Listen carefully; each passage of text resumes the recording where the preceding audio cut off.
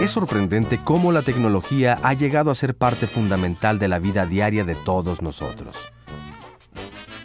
En el siglo XVIII, con los inicios de la Revolución Industrial, comienza una de las etapas más gloriosas para la tecnología. El ferrocarril, la calculadora, la máquina de escribir, el telégrafo, el teléfono y la electricidad iniciaron una transformación radical en nuestra forma de vida. En 1946 se creó la primera computadora llamada ENIAC y era enorme. Con el paso de los años, estas se volvieron cada vez más pequeñas y más accesibles y comenzaron a conectarse entre sí en redes hasta llegar al mágico mundo de la Internet. La tecnología está en todos lados, basta mirar a nuestro alrededor.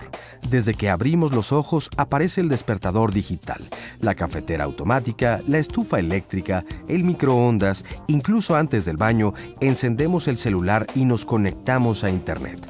Nos subimos al coche y activamos el sistema GPS, ponemos la televisión y a veces hasta vamos haciendo una videoconferencia. ¿Es cierto que la tecnología es una extensión de la innovación del ser humano para poder desenvolverse mejor en su medio?